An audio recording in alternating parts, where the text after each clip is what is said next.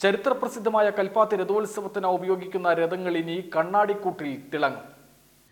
കൽപ്പാത്തി രഥോത്സവത്തിന് ശേഷമാണ് രഥം സൂക്ഷിച്ചു വെക്കുന്നതിനു വേണ്ടിയുള്ള കണ്ണാടിക്കൂട് ഒരുക്കാനുള്ള നിർമ്മാണ പ്രവർത്തനങ്ങൾ ആരംഭിച്ചത്. കഴിഞ്ഞ ദിവസമാണ് രഥം കണ്ണാടിക്കൂട്ടിലേക്ക് മാറ്റിയത്.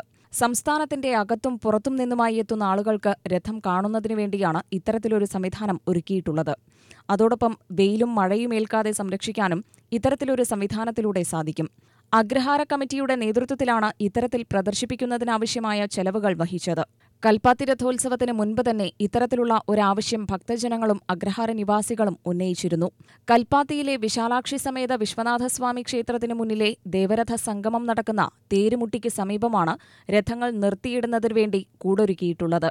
കമ്പി ഫ്രെയിമിലാണ് ചട്ടക്കൂടൊരുക്കിയിട്ടുള്ളത്. മുകളിൽ ഷീറ്റ് പതിപ്പിച്ചിട്ടുണ്ട്. മൂന്ന് വശത്തും അഴിച്ചുമാറ്റാവുന്ന രീതിയിലുള്ള കണ്ണാടിയാണ്.